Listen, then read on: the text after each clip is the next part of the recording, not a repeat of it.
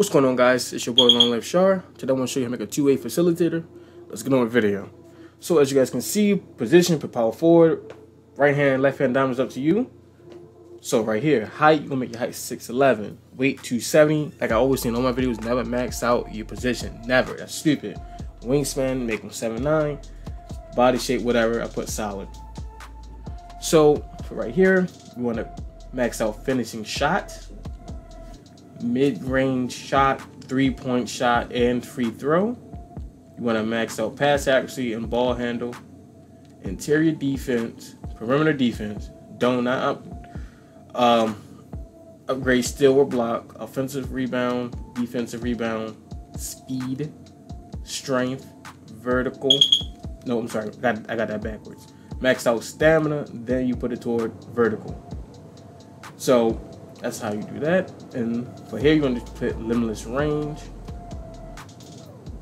And for secondary, you want to put glass clearing dime. So when you get the rebound, you pass it out. It's like a dime, or it is a dime, right? And you have a two-way facilitator, right? And that's how you do it. Badges. Mm. For badges, I'm not really sure how I was going to do this, but um, we can see.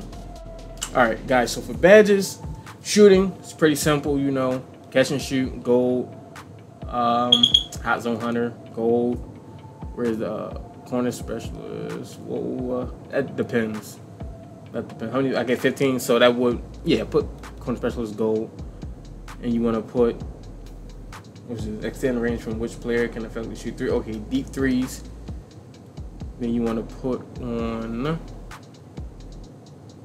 what is sort of set you increase the rating when taking your time before shooting? Okay, yes, set shot. That sounds cool. Set shooter.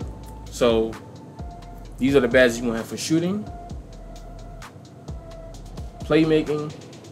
Uh, of course, dimer. Put that on. Effect, put on Hall of Fame. The fact you can get dimer, that's impressive. You want to put on shit, unpluckable. Yeah, might as well put that Hall of Fame. Nah, do you want? Yeah, put that Hall of Fame. Yeah. So, and defensive badges, you know, the usual Hall of Fame. Oh, got that backwards. Where is rebound chaser? Hall of Fame. Hall of Fame. Now I put brick wall gold. You don't need that Hall of Fame. And for this, post lockdown. Hall of Fame. All right. And that's how you guys set your badges. This is how you get a two-way facilitator. Hope you guys enjoyed the video. Like, comment, subscribe, and I'll see you in my next video.